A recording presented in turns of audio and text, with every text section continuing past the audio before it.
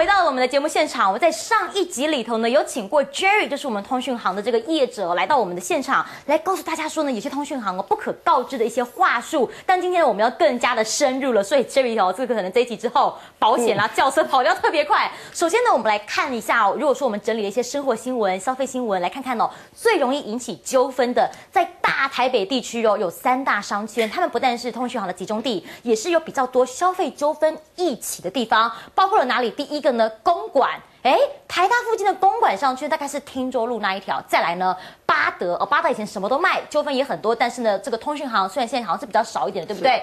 包括的是西门町的狮子林哦，有通讯行，有包膜的一整栋大楼。但是要问一下哦，这个纠纷，就是你自己听过最多的在哪个地方？那为什么会有这样纠纷？呃，其实公馆，公馆，对，公馆是最多的。为什么？就是其实因为它是一个集散地嘛，那大家。要买一定是找便宜的。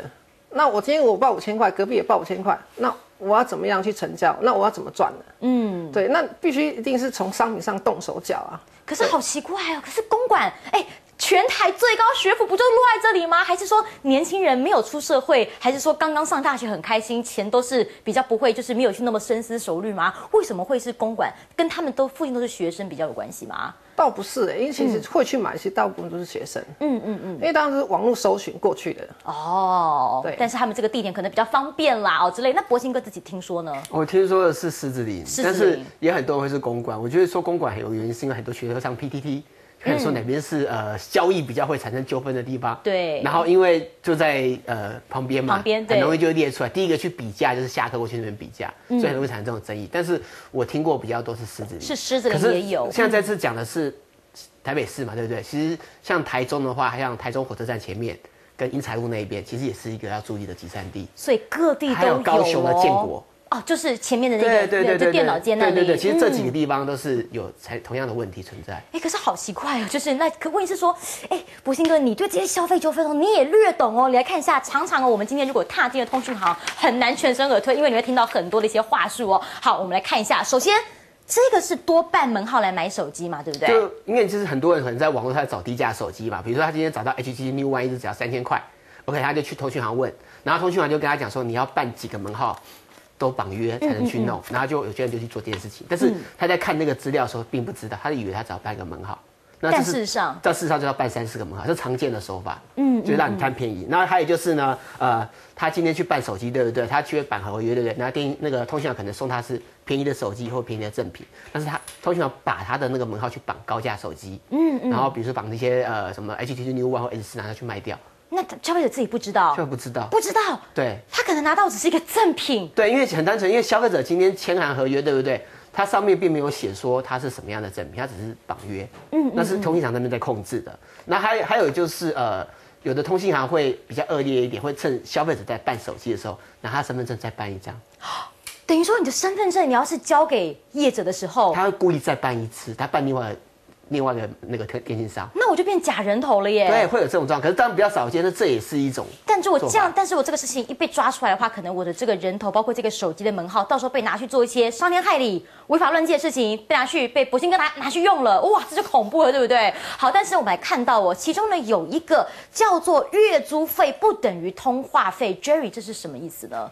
通常他们在介绍的时候会有一个话术啦，嗯，他跟你说，哎，你只要办三百多块的月租费，对。对，那三百多块，一般我们以远传来说，三百多块大家可能知道是三六五，那是让你搭配有可能是你是一六五加上一个上网的 smart 一五零的资费方案去做搭配，这样加起来是三百多块，嗯，但是让你加上网络，其实手机优惠会变比较多，原本你可能只是纯粹的云资费，你可能只要两千块钱，可是你搭那样子网络，可能手机就可以变零元。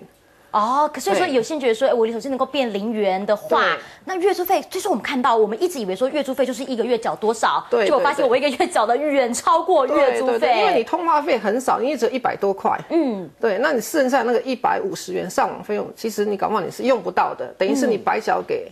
系统上对，所以说这个可能要看看自己。如果说不常上网的话，你也不需要吃到饱。如果自己讲话讲的少，你的语音费就不需要这么高了，对不对？你的通话费哦，到时候每个月缴账就不会这么多。但是来看到一个高阶机皇杀到破板价，在告扣零，机皇就那样的价格也很硬啊，怎么杀呢？Jerry？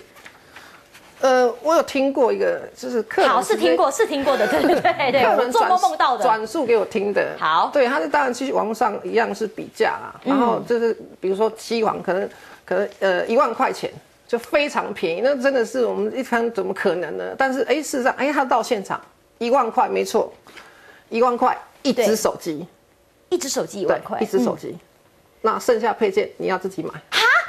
什么？没有这个，其实在以前在卖电视游戏就有这种事情了。就是我单买这个，我原本想说啊，一万块只有这个壳哦，你以前的卡带什么的，遥控器，嗯嗯嗯，对，这个其实只是希望你上门嘛。今天哦我做这个交易，你没有来我店家，那这笔交易是不可能成功的。那我一定是用个低价的策略吸引你上门。那我确实没错啊，我也没有说不卖你啊。对只不过就是对啊，你要买一万块卖给你好便宜哦，真的就卖你一万块啊，其他的这五千块六千块，香港买手机，它有一种手法，你知道，就是你今天买，对不对？你这个是二点五 G 的版本，对你要加多少钱才是三 G 的版本？哎，就是你多少钱买到是真的买得到，但是它对并不完整哦。哎，可是问题是呢，现在有很多人讲洗机，对不对？洗机什么是洗机呢？J 上次还没有完整的补充完哦。洗机尤其是 iPhone 来洗机哦，但是呢，讲到洗机，波星哥嗨听说之前哦有一款机子在智慧手机刚出来的年代被洗得非常凶，呃，CHD 九千。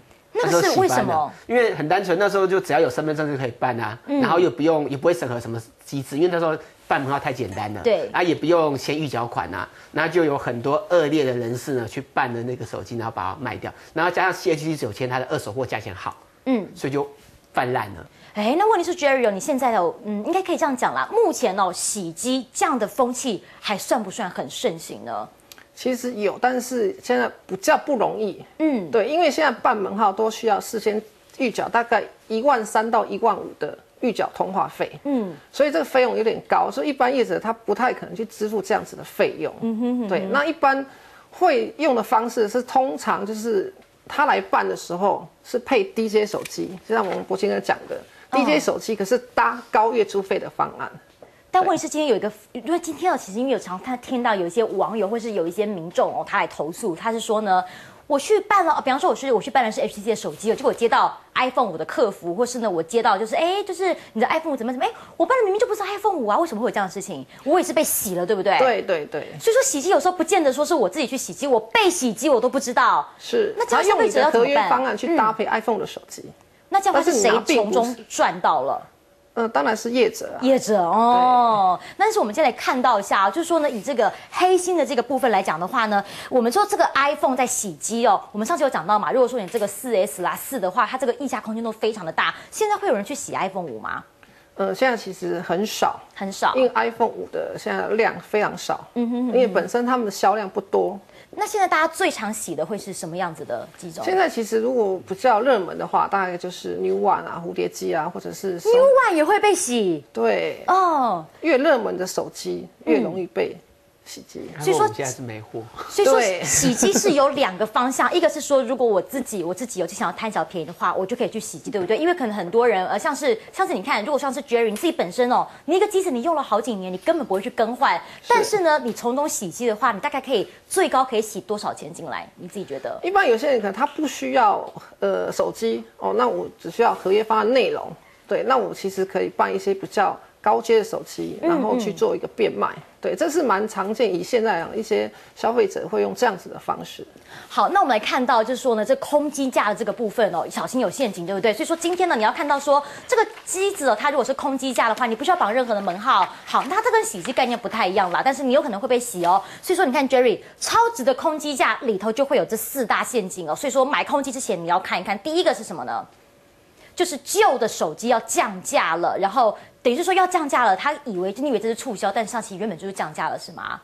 对，是这样子。那像第二个呢，这是什么意思？冷门手机或者是次品牌的手机，这是怎么样呢？